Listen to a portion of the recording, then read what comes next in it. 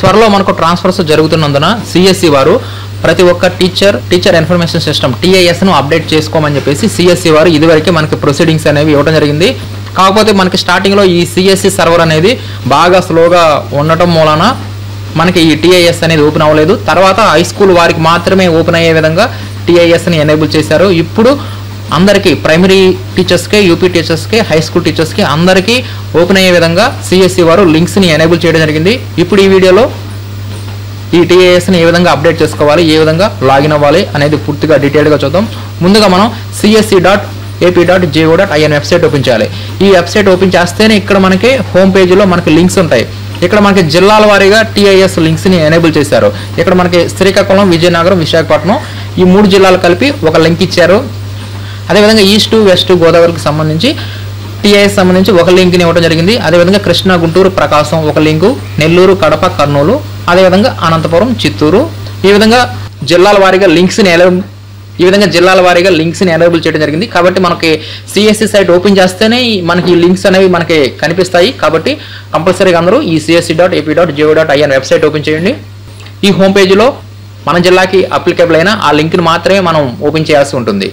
ఇక్కడ మనకి టీఐఎస్ని అప్డేట్ చేసుకోవడానికి ప్రైమరీ వారైతే ఓన్లీ ఎంయూ గారి యొక్క లాగిన్లో మాత్రమే ఆ టీఐఎస్ని అప్డేట్ చేసుకోగలరు. అంటే టీచర్ కార్డ్ అయితే మాత్రం మన స్కూల్ లాగిన్లో మనం డౌన్లోడ్ చేసుకోవచ్చు. అలా డౌన్లోడ్ చేసుకున్న తర్వాత దాంట్లో ఏమైనా మిస్టేక్స్ ఉంటే ఆ మిస్టేక్స్ని మనం ఎంయూ గారికి లాగిన్లో అప్డేట్ చేయించుకోవాల్సి ఉంటుంది. అదే హై స్కూల్ వారైతే ఆ పాఠశాలకు సంబంధించి స్కూల్ లాగిన్లోనే టీచర్ కార్డు లభిస్తుంది. అదేవిధంగా ఆ టీఏఎస్కి సంబంధించి ఎడిట్ ఆప్షన్ కూడా ఉంటుంది. ఇప్పుడు ముందుగా మనకి అప్లికేబుల్ అయిన ఆ లింక్ అంటే ఆ జిల్లాకి సంబంధించి ఆ లింక్ని మనం క్లిక్ చేసుకోవాలి.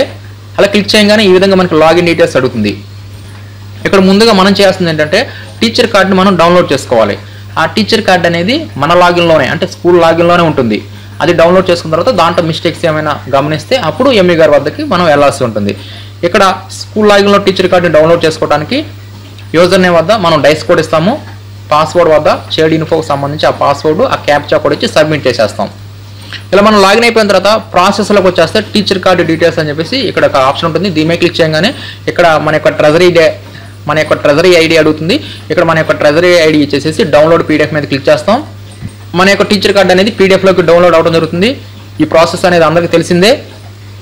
ఇప్పుడు ఈ పీడిఎఫ్ ఫైల్ని మనం ఓపెన్ చేసేసి ఈ టీచర్ కార్డులో ఉన్న డీటెయిల్స్ని మనం వెరిఫై చేసుకోవాలి. వీటిలో ఏమైనా మిస్టేక్స్ ఉంటేనే మనం సరి చేసుకోవాల్సి ఉంటుంది. అంతా బాగానే ఉంటే మనం మనం ఎలాంటి మార్పులు చేర్పులు అనేవి చేసుకోవాల్సిన అవసరం అనేది ఉండదు. ఇప్పుడు టీచర్ కార్డులో మిస్టేక్స్ ఉండే వాటిని ఏ విధంగా సరి చేసుకోవాలని చూద్దాం. దాని కొరకు మనం మన జిల్లాకు సంబంధించిన ఆ లింక్ని ఓపెన్ చేస్తాం. నెక్స్ట్ ఇక్కడ యూజర్ నేమ్ పాస్వర్డ్ వద్ద టీఐఎస్ని ఎడిట్ చేసుకోవడానికి అలా ఎంఆర్సీని సందర్శించాల్సి ఉంటుంది. ఇది ఎంఈ గారి యొక్క లాగిన్ దీంట్లో మనకి ప్రాసెస్లో cadre strength and TIS for government schools అని చెప్పేసి ఇక్కడ లింక్ ఉంటుంది. ఇది ఓన్లీ ఎంఈ గారి యొక్క లాగిన్లో మాత్రమే ఈ టీఐఎస్ లింక్ అనేది ఎనేబుల్ అవుతుంది. ఈ ఎంఈ గారి యొక్క లాగిన్లో హై స్కూల్ టీచర్కి సంబంధించి కూడా ఎడిట్ అనేది చేసుకోవచ్చు. నెక్స్ట్ మనకి ఏ స్కూల్ అయితే మనం ఎడిట్ చేయాలనుకుంటున్నాం ఆ స్కూల్ సెలెక్ట్ చేసుకొని గో మీద క్లిక్ చేస్తాం. నెక్స్ట్ కింద ఇక్కడ ఎడిట్ ఆప్షన్ ఉంటుంది. మనం ఏ టీచర్ యొక్క డీటెయిల్స్ని ఎడిట్ చేయాలనుకుంటే ఆ టీచర్కి ఎదురుగా ఉన్న ఎడిట్ బటన్ మీద క్లిక్ చేయాలి. ఇలా క్లిక్ చేస్తే మొత్తం మనకి ఇలా మనకు ఒక విండో అనేది ఓపెన్ అవుతుంది. దీంట్లో personal details education qualifications appointment details transfer details ఈ విధంగా మొత్తం నాలుగు సెక్షన్స్ ఉంటాయి. మనకి ఎక్కడైతే మార్పులు ఉన్నాయో ఆ సెక్షన్ దగ్గరికి వెళ్ళిపోయి మనం వాటిని ఎడిట్ అనేది చేసుకోవచ్చు. వీటిల్లో ముఖ్యంగా మనం ఎడిట్ చేసుకోవాల్సినవి ఏంటంటే మన యొక్క మొబైల్ నెంబర్ కరెక్ట్గా పొందాలో చూసుకోవాలి. అదేవిధంగా మన యొక్క డిజిగ్నేషను మన స్కూల్లో ఎనేబుల్ అయిందా లేదో చూసుకోవాలి. అదేవిధంగా date of first appointment transfer details ఇవన్నీ కరెక్ట్గా ఉండలేదు అనేది మనం ట్రాన్స్ఫర్స్ కొరకు అయితే ఈ వివరాలు కరెక్ట్గా ఉండేలాగా చెక్ చేసుకుంటే సరిపోతుంది. అదేవిధంగా ఈ ప్రెజెంట్ అడ్రస్ పర్మనెంట్ అడ్రస్ కూడా కరెక్ట్గా ఉండేలేదు కూడా మనం చెక్ చేసుకుంటాం. స్పౌజ్ డీటెయిల్స్ కూడా కరెక్ట్గా ఉండేలేదు కూడా ఇవి చెక్ చేసుకుంటాం. ఇలా మొత్తం ఎడిట్ చేసుకున్న తర్వాత ఇక్కడ కింద మనకి సేవ్ బటన్ ఉంటుంది. దీని క్లిక్ చేస్తే ఈ వివరాలన్నీ కూడా సేవ్ అవటం జరుగుతాయి. ఇక్కడ మనకి ఈ టీఎస్లో ఎడిట్ డిలీట్ బటన్స్ ఉంటాయి. ఇక్కడ డిలీట్ మీద మనం నొక్కామంటే ఈ ఈ స్కూల్ నుంచి ఆ టీచర్ గారి యొక్క పేరు అనేది పూర్తిగా డిలీట్ అవడం జరుగుతుంది కాబట్టి డిలీట్ని ప్రెస్ చేయొద్దు. ఒకవేళ మీరు డిలీట్ని ప్రెస్ చేస్తే మరలా యాడ్ టీచర్ ఆప్షన్ ఉంటుంది. యాడ్ టీచర్ ఆప్షన్ ద్వారా మరలా జాయిన్ చేయవచ్చు.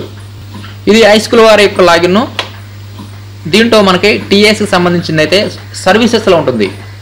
Cadre stand and TS for government schools high school సంబంధించిన వారు ఈ ఆప్షన్ని సెలెక్ట్ చేసుకొని ఆ క్యాడర్ స్ట్రెంత్ని చెక్ చేసుకోవచ్చు. అదేవిధంగా టీచర్కి సంబంధించి ఆ వివరాలన్నింటిని కూడా ఎడిట్ అనేది చేసుకోవచ్చు. ఈ విధంగా సిఎస్సి సైట్లో జిల్లాల వారీగా మనకి లింక్స్ అనేవి ఇవ్వడం జరుగుతుంది. ప్రస్తుతం అయితే ఈ లింక్స్ అనేవి చాలా ఫాస్ట్గా పనిచేస్తున్నాయి. కాబట్టి ప్రస్తుతానికైతే మాత్రం ప్రైమరీ యూపీ హై స్కూల్ అందరి టీచర్స్కి సంబంధించి ఈ టీఐఎస్ లింక్స్ అనేవి ఎనేబుల్ అవ్వడం జరిగినాయి.